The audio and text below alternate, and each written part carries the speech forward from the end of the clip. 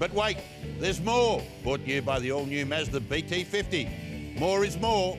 Business as usual in the NRL. Not too many upsets on the weekend, uh, save one or two games, but certainly your Melbourne Storm just keep chug, chug, chugging along. They are just absolutely emphatic at the moment, aren't they? They just keep I can't see them losing for a while. No, Have well- a look at the draw. Maybe when the Origin players get yanked, but it's only three or four players That's now. all. It'll go, what, Cronk, Sla- uh, Slater and Smith. And maybe one of the guys out Maybe one of the guys out wide, yeah. But predominantly the side will remain intact. They've got a lot of depth.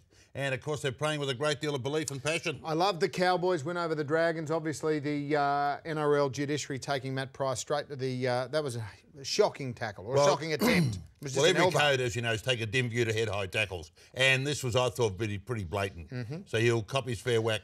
Warriors were very good against the Broncos, who were going for uh, more than half a dozen wins in a row. I thought they showed finally some uh, spine and some ticker. Mm.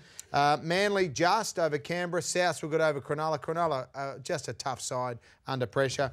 Tigers got out of jail again. But one thing about the uh, Bunnies, the Bunny, finally Inglis are starting to pay his dues. Mate, he is the best player in the competition. Well, when he's on song, When me- he's on song, he owed them big time from last year, but I think he's start, finally delivering on that big wage packet. And uh, we could talk about Canterbury, but I think you've also got to talk about Parramatta. I Yeah. mean, time with a stick would beat Parramatta at the moment. And the Tigers are still Just, just, uh, getting there. hanging by a thread, aren't they? I tell you what, it's going to get interesting over the next few weeks with the Origin teams being announced on the weekend and into next week. This is when the top teams need to really stand up.